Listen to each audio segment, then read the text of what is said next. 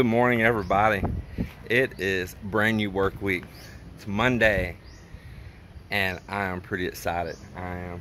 We come home, the community's in a brownout.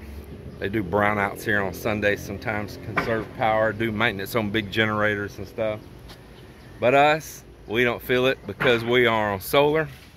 So while the rest of the community is all uh, sitting with no fans and in the heat, we're still chilling in the AC and just enjoying life and made me really come home and appreciate my solar as well.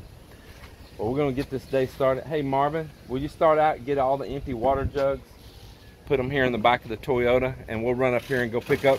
I think we have a few jugs there ready right now. We have some still there. So grab those and we'll go pick those up and drop these off. Yeah, get our day started. I hear them already up here with tools, stripping forms. Everybody is right on it. What? Strip forms. Look here. Can you see that? That is a wall poured right there. We are all the way up and, and kiss the column. The column got a kiss by the wall. And so uh, now we're here. Uh, now we're here on this other side.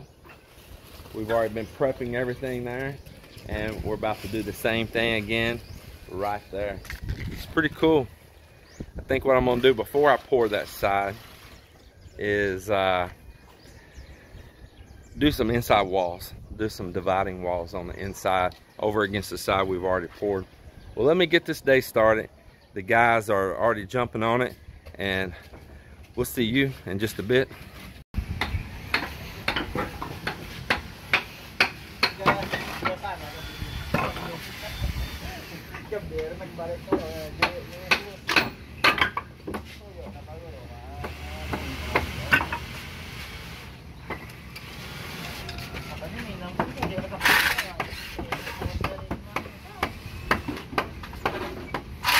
Just got done moving those solar panels. Whew, that sun that morning sun was hot and staring right up into it over there. Uh, we'd done all broke a sweat. Man, Miller was moving those.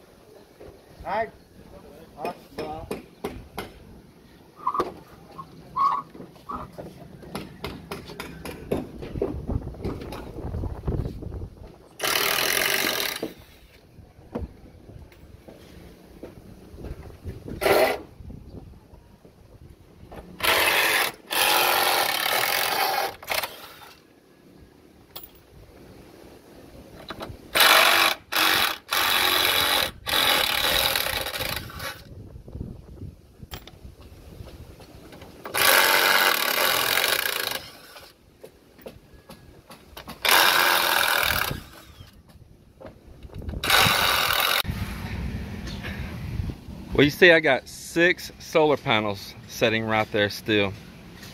And those are all connected and going right this moment. But you know, they're in our way. They're absolutely in our way and we're about to be building across there. And you know, there was 12 panels.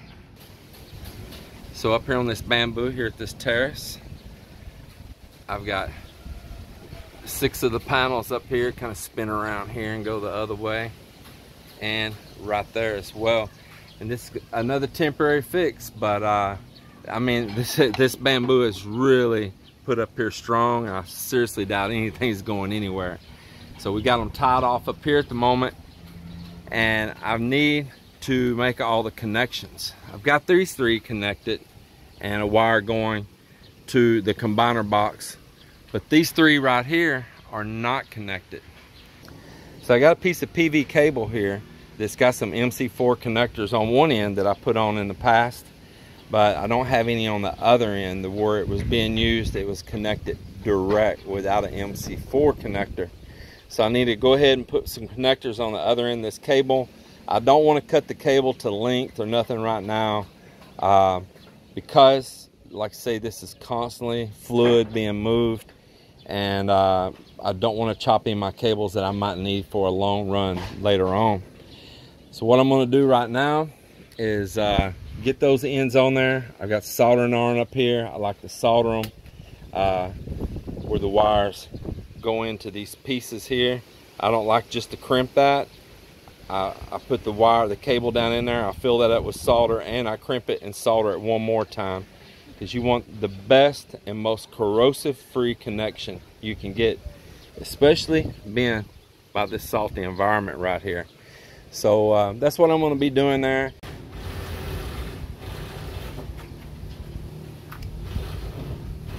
All right here I am. I got my MC4 connectors on. Here you are you got a positive and a negative. See it says positive on that one. And you got your negative mark right there on that one.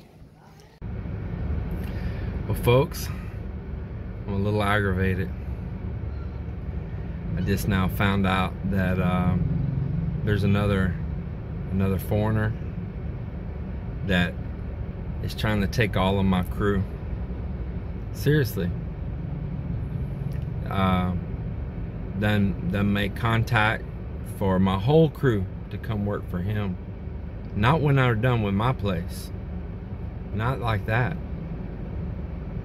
Trying to take my whole crew right now while we're in the middle of building. I noticed over the past few days, they all been acting weird and kind of like I don't give a darn and just moving slow. The cow can be standing in the greenest, sweetest grass there is, but it will still push its head through barbed wire to the other side just to find out if the grass is sweeter on the other side. And uh, I'm I'm aggravated. I ain't gonna lie. I'm aggravated. And they didn't come to me directly. I found it out through an indirect channel. Yeah.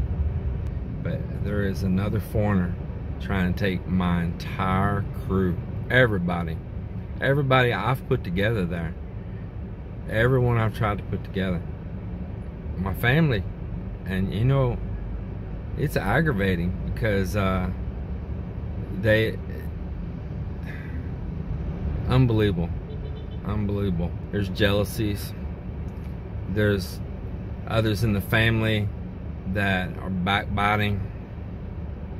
It, it's a pain. Now they may stay right there with me, but I tell you, uh, just the whole prospect of someone trying to grab up your workers while they're still working for you, I'm more aggravated with that than anything. Who knows? I don't know. I can only speculate. I have no facts here. I know it's a fact that someone, a foreigner, is trying to take my workers. I know that. My whole crew, I know that is a fact. But you know, what would be the benefit of them leaving? What would be the benefit? Well, let's see. They wouldn't have to do my kind of work, which is really nice, and I make them do things perfect right.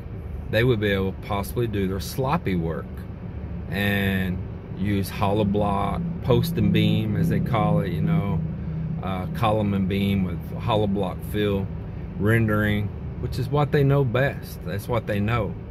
so they could do their regular old slap it up work, you know. So that would be a benefit to them. So, uh, so that'd be one benefit. And then has the this foreigner has he tried to sweeten the pot, maybe offer more money or promise him I'm going to do this for you, or that for you. I tell you, that's the one I'm most aggravated with. Yep. Yep, that's the one. Well, this is the way life can be. Got one of these Glow Max little small solar panels right here. It's on my 12 volt system. You'll see it says it's 21.6 volts, but this is for charging a 12 volt system. Uh, maximum power current right here, maximum power voltage, see 18 volts. Open circuit voltage 21.6. This is for my 18, this is for my 12 volt system right here. And Glomax is the brand that was on this. I like them, they're pretty good panels. They work great. One of the uh, connectors broke right off on the back and the wire pulled right into so I'm gonna to, I opened up the back here and uh, I'm gonna go in here and resolder that right now but yeah I was really really shocked out of what this thing did and broke like that just I mean just just moving it and it just snapped off even when I was removing this just now these just snapped right off. No flexibility to them at all like they're supposed to be. They're supposed to be a little latch that you open.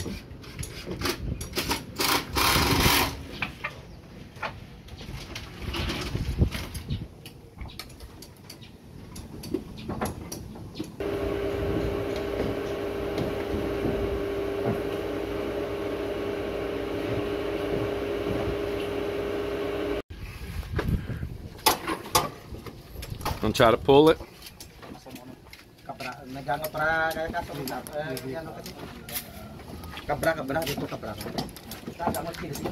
You may have somebody go up there at the top and pry that plywood. Up up here? No, go up here. Or right here. Maybe you can hook that plywood right there. No, right here. Get it right here. No, right here. Get this sheet. Go right here. Break this sheet loose. Yeah. Yeah, there you go. There you go. Hold on, hold on, Miller. Let him get it all the way down. This is kind of stuck there. That's where we we got a wall that's gonna come out right there. See? Piece of cake, boy. Easy peasy.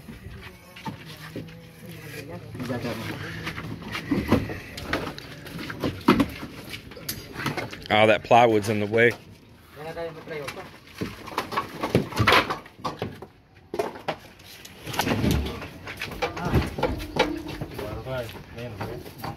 Huh. Yep.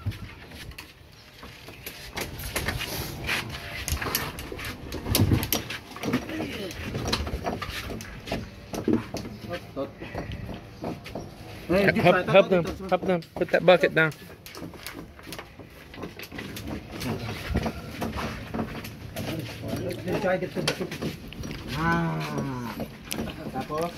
Yeah, but we need to take it out because we don't need it here. Don't break it though.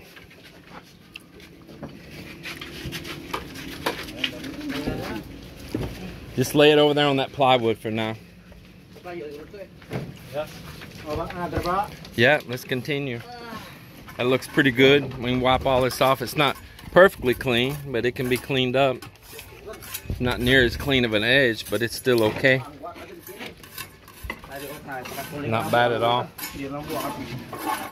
See how that, now everybody watching that right there, that's where the wall's joining in, so we don't expect that to be clean right there.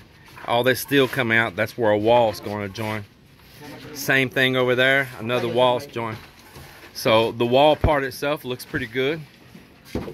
Yeah. All this little stuff here, as I always say, just wipes off.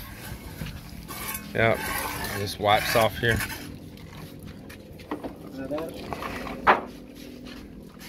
Yep. So this is where a wall will join in here and make the pantry. That's where a wall will join in, make the pantry and the wall for the bedroom. we're starting to get rained out here and I'm gonna have to go close up the back of my Hilux, sir. We got low pressure coming. It's moving up this way from down by Bohol and Cebu, down that part of the country, moving up here towards the central and western Visayas, uh, into the southern Luzon area. So uh, I know our friends Jay and Jen that was live streaming this morning and we were visiting with them and having a little joke. It was pouring down rain there and that rain's moving this way. And they were like on the edge of it down there, the southern edge. But we, oh, they're pulling more, but we are right in the heart of it. So we may actually get more rain than they did. So this is up here in the bedroom wall at the very front, the very front of the house. So far what I see looks good. It looks nice. Very happy so far. Let's see, pull the next one. Oh man, yeah, just that little old small stuff that stuck there on it just wipes off the wall. That's a good part of a bedroom wall right there. They took too many screws out of this form, so they got to put it back together right now. Well, the weather's been a mixed bag today. It's acting like it's gonna rain. We got a low pressure coming in. I told them some of them spread out and do a little bit of work downstairs. If it rains, it rains. If it don't, it don't. We're still making progress no matter what. So I got a one of those smaller diamond cup wheels right here, four inch. And I had Amon to start just going around up in these tight places, forming the corners nice and square, getting little rough edges out and all and just dressing up with it. And that's what he's been doing. You can see the mess here. Grinding off these joints like this right here. And then we'll come back with that skim coat, just like a filler, and float that all out. Hitting all of these joints here everywhere. So he's been prepping all of that. And we're gonna start skim coating these rooms here very, very soon. Over here with the room with the crap block. They are doing what they do. Chisel a groove, cut and chisel a groove for a conduit. So this is your comparison video right here. That conduit that I lay in nice and perfect in the walls. This room is my sacrifice room to give you guys a chance to understand a comparison right here on this job site. So no, I did not want to hollow block these rooms.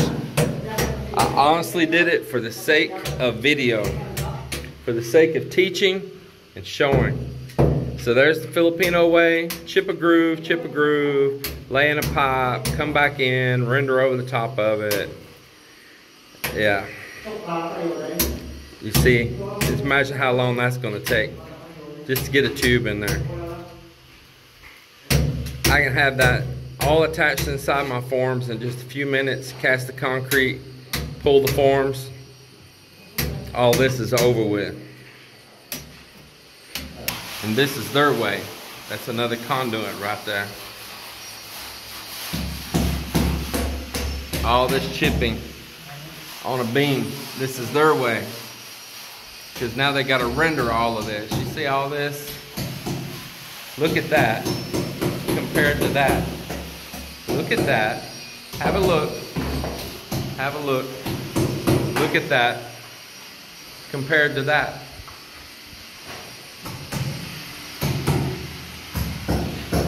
So this wall, including this great big column, huge column in there, that wall, including that beam, including that column, all the way down, all of that wall and those columns when we mix that right there, use less concrete than what they're gonna have just in this little wall here with no columns and that tiny little uh, beam. You're gonna, by the time they render it, they're gonna be out way more concrete, way more time, and both of them have steel in them. You're still gonna have that column even in your hollow block build you still got steel inside that hollow block, horizontal and vertical. So you tell me the difference. So the difference is you bought some sheets of plywood and you cast it and you made it clean. Look at that. See that? Look at that. So you bought some sheets of plywood, you drill some holes in them, you buy some PVC, you cut them off at four inch or five inch or six inch, however much money you want to spend, how thick you want to make your walls. They don't need to be no five or six inches, but hey, whatever. Float your boat. I mean, you buy some one stick of PVC, makes a lot of four inch pieces. You go up to a city somewhere, they're all over the Philippines, these big hardware stores like Far Eastern. Google Far Eastern. They have it. Long sticks of all thread. You cut that all thread off long enough to run through your form, through your coco lumber, and nuts and washers. Buy the nuts and washers there at Far Eastern also. So you're gonna have either half inch, three quarter inch plywood. So add an inch to an inch and a half for that. So you got thickness of the wall, four inches. Say three quarter inch plywood. Now you're at five and a half inches. Coco lumber is two inches and it's gonna be on each side. Now you're at nine and a half inches. You need room to work. So you got some thread. You got some washers going on there for your nuts and all. So cut them off one foot. And that all thread is cheap. It's cheap when you chop them off, probably have to dress the threads a little bit with a grinder on the end. Just put one of those little metal blades on a hand grinder and swirl it around tip there. Clean the threads up. You can use those forms again again. On a one story, a small house, Joel and I figured just uh, Saturday that 10 sheets, you could build a small house with 10 sheets of plywood, reusing them each time just 10 sheets. Eight of them for forming your walls and two of them to cut for columns. So uh, we'll do a little math on that later. Mop Mop needs me right now. All right, you see that? Look at that. That's half day. Just call him half day. His name's not Mop Mop no more, it's half day. We're building a single story house. This whole wall is a beam. It is a wall that can take a load and carry that load sheer all the way down to your tie beam in the ground. Still put your tie beam in. But you don't need another beam up here at the top. You don't need it at all. You could literally pour to the top, bend your steel over, take your forms, lay that right over, pour your roof right on top of it. You really can it doesn't need all of that. And only reason there's these big columns here is because, you know, this is a pretty big structure I'm pouring. And uh, it's going to have some additional loads on top of the house as well. But if you didn't have to deal with all of that, uh, and you're just building a small home, let's say, um, I mean, I, I can try to write up some figures. I could probably give you a pretty close estimate what it would cost. It's not bad at all so Mama, how much did we say? How many when we poured that from? We poured what from that steel right there, right? Saturday, right? We poured from that steel. So we poured down through here. We poured that column. We poured all this wall here, and that's eight foot tall and about eight and a half foot on the columns. And how many bags of cement did you say we used? Nine and a half bags of cement. So with that column and those walls with hollow block, still with a column, and then you render it, how many bags you think it's going to take? Probably 20. Yeah. And a lot more time too, isn't it? Yeah. It's a huge savings. So you see them down there right now on that little experiment wall I did in the CR. Chiseling for the conduit yeah, right here, we're not doing that. There's no coming in and patching and a scar made on your wall. Yeah, yeah, go ahead. This is a complex structure here. If it was not so complex and it was just more of a basic home, we and once you know what you're doing, you can turn it out unbelievably fast. You really can. Um, finished unbelievably fast. And if you set up like that and you run a company like that, and you got a place that you can keep form board dry and take it to another job, not just throw it all away. That's part of your tools and carry it to another job and another job and another house. The cost starts getting lower and lower. And uh, you know, so if you're going to build homes, track homes in a subdivision, you can really lower the cost by taking care of your forms and using them many times over. Taking care of your lumber and using it many times over. Man, you could put the cost down super low.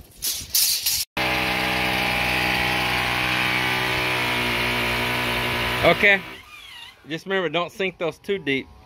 And be careful, we got a conduit down below. Yeah.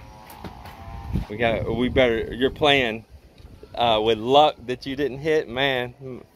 Well, I don't see no orange pipe, so I guess you got lucky. Because remember, I said we need to measure that first. Whoo! so, uh, here we are, we're laying out for walls that's going to border between the kitchen, this little uh, pantry, utility room, and then the wall over to the bedroom. And it creates a little hallway wall at the same time. So the first thing we do is we lay our lines where the wall's going. The wall's gonna be four inches thick. So you're gonna need to, if you're using half inch forms, you're gonna have to make your gap right here five inches thick. Allow for the plywood on each side. Or if it's three fourths, you're gonna have to make it five and a half on the space on the inside. Uh, this steel here, we pre-drill all the holes before we nail down that coco lumber. We don't drive concrete nails into this because it makes tiny cracks, cracks, fractures inside your concrete that can grow from there. It's like getting a crack in the windshield of your car. You know, that crack's there and it's small, it's a little splinter, and then all of a sudden, choop, it starts splitting off. Well, you're just creating a fracture for a crack to begin. So drill your holes and uh, put your nail in there and really that all it's doing is just a, a pressure to the side that you're just pinning it you know that you're not really nailing it in like rock solid and you need to explain that if you're going to copy this method to your workers. You're not trying to nail that down like to keep those boards from coming up. You're just trying to pin it to keep it from going out sideways. Now they do make some metal brackets that you can buy and fasten to the concrete under the wall and it has a lip that comes up both sides and that your form board ties to that. I'm just using a method that don't require a bunch of special hardware and you don't have to try to find all these things and bring them from another country and and do all of that. So I'm I'm doing it with what's available here. That's the whole point of this build. You don't have to have a bunch of specialty hardware and ordering in all this gadgetry and all of that. So instead of all those little sheet metal brackets you can attach to the floor and the form sets in on both sides and all, I'm doing it like this and this works well. So then he's drilled for the rebar and he's cleaning them holes right now and all. And then what we're gonna do is we're going to epoxy the steel into each one of those holes and that just guarantees me a better seal, a tighter fit around with that steel in there for years to come less chance of the steel to ever rust or corrode or anything like that. So there you have it. It's pretty simple. They'll stand their steel up here now. They'll tie their steel out across, vertical and horizontal. Then we're ready to start leaning sheets up. Tie a sheet on one side. Set your outlet boxes or anything you need on that sheet. Prep your sheet for the other side before you put it up there measure, lay out your outlet boxes or switch boxes on it, sandwich them up, put your coco lumber, and uh, you'll be ready to pour. Peel it off. You got a wall just near being paint ready, if you do it right. Hey everybody, well that's the end of day of another day of building here. So uh, had the guys doing all kinds of tasks we had decided to add in a conduit in the past here for something that uh, when the original garage was built that wasn't planned on. So we've had a slot there. I've had them to go ahead and get that mortared in. They did their Filipino thing, mudding in boxes here and inside both. Uh, don't don't like that technique. I think you all know it. it it's so inadequate. Um, Ambin worked with a small four-inch diamond cup wheel, and he dressed all inside of here today, hitting edges everywhere, getting all those little burrs and stuff, because we're going to begin skim coating in there, and uh, that's not going to be far away from just finishing out that room. And as well, here in the next room, it's a duplicate story that he was once again finishing dressing up in here and they were beginning their little chiseling, the chiseling the conduit over here on this CR as well. They didn't get it done because it takes so darn long. Yep, and they only got one done because that method right there, it's no good. Got my one solar panel repaired there as I was showing earlier in the video today.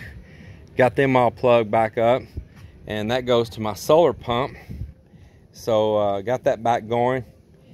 Uh, if you want to see these right here, these are just cable Y adapters. And these panels here are all in parallel, not series. Meaning they're all positive to positive, all negative to negative. Just uh, increasing the power as far as the the amps on it, you know, but not increasing the voltage. So that's the way they're set up right there. These are just uh, lower, I think they're like 18 volt panels or whatever. They're for charging on a 12 volt system. But I got them going and uh, they've been down for a bit because like I say, that one lead, that one panel, I was really shocked how the sun has deteriorated on that. So it might want to be something you look into on buying panels because uh, that's crazy, especially if it's to the back side. Of course, those aren't my main panels. Those are just some little small panels there. I think uh, maybe one of them is a 100 and the other two are 50s each or something like that. Let me look. Yep. This taller one is a 100 and see it's like 18.7 volts and these little small ones these I bought a long time ago just for only running the solar pump 18 volt and 50 watts. So 200 watts are all together and they're dirty and they're not really pointing in the right direction. I just got them back up and going but I tell you they've been pumping water for hours though. I'm having a nerve attack day yeah. They don't feel sorry for me. I'm tough enough. Just telling the truth. That's if you see me and my eyes look really tired and all and I look a little different. I know, probably do. I see it myself. I um, uh, those those attacks, man, literally feels like I'm being electrocuted. Unbelievable. Yeah, unbelievable. And you don't know when it's going to hit, and it's like all of a sudden just somebody cattle prod you, you know, or hit you with a stun gun. This is like boom. Man, it's craziest thing, and it kind of moves through my body. And I never know what part of the body it's going to originate from. It's just like a surprise guest, you know. Jumps out from behind the door. Yeah. Well, that's the way that's the way it is. I've been living with it for years now. So sometimes I don't want the only reason I'm even I just tell you this. I'm I know I'm chattering here. The only reason I even tell you guys about that, because really it's a personal thing and I'm not looking for sympathy in any way. I'm man enough, I'm tough enough, I handle it. The reason I choose to share that with you guys, I don't want anybody thinking I'm drunk, you know, because it messes with my speech and uh, and my eyes look tired and I'll stumble.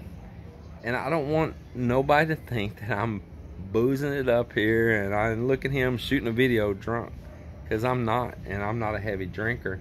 Um, I'm I'm a one maximum two beer person, and I and I might go for a while before I have any more.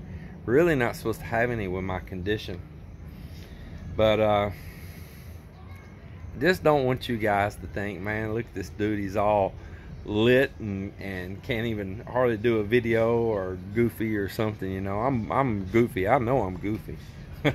That's not the nerve condition. I'm goofy. But um, no, no sympathy or anything like that. I just, I just want to share because I don't want y'all thinking I'm like some whack job here. Even with the way I was feeling, I still came up here and worked. But there towards the end of the day, Melinda, she's been gone all day dealing with driver's license stuff again, setting an LTO for endless hours. There at the end of the day, Marvin told me I need to go rest. He saw me having those attacks. He He's worried he wanted to walk me down. Bless his heart. That's somebody that loves you right there. I said, bro, I sure appreciate that, but I, that's all right. I manage. Yeah. Yeah, it's just, uh, you know, it's weird for them to see because it's just like somebody electrocuted you. It's the craziest thing. Never get totally used to it, you know. Crazy thing. Enjoy life every day. Don't forget that. Enjoy life every day. I don't let it stop me. I don't think you guys see it stopping me none. I've been dealing with it since 2012. Yep, 2012. Some time's already gone by. Well, I got a little bit of news though. She got her student permit. Yes. Yeah, she got her student I just permit. got it today. She don't have a driver's license, but she has a student permit to learn to drive. So uh, that's pretty cool. and it took you how many hours sitting there? Five hours. Five hours yes, they're sitting so there. slow. Yeah, some things don't change here, you know. Uh, I was aggravating sometimes. Sometimes, you know, like sometimes I always say, say, ah, shit. You know, I'm sorry that. Anyway, I'm, I'm sometimes. Do I need to drive? Some, you know, I ask it because I wait so long. I have no patience to wait. So you asked, do you need to drive? I Yeah. don't mean what that means. Do I, that mean? do I really need to drive? You know. Oh, okay. Do I really need to wait? Uh, this one. I get long? now what you mean. Do you really need this driver's license? Is it worth it for sitting there that long? Yeah. You know you want it so bad, so I'm sure you're going to sit there as long as they tell you. It's supposed to be. I'm about to say that can I go back the next day, but the thing is, it's so hassle and maybe have um, another things that uh, for the next day. So Yeah. Well, I was glad you made it home. I know that. She Mhm. brought me some chicken from Andok's. I always uh, think about you. Yeah. Think You think about me. I requested it. Requested. I told you that. I messaged you if you want some Andok's. no, you said you were going to go get Andok's. yeah. You didn't say I'm going to get us Andok's. Of course, you already included in that one. Wow, you just automatically include me in everything. yeah, huh? of course. You know, because I already know that you're hungry. That's it's not a bad wife. Pretty good. So just automatically no selfish thoughts.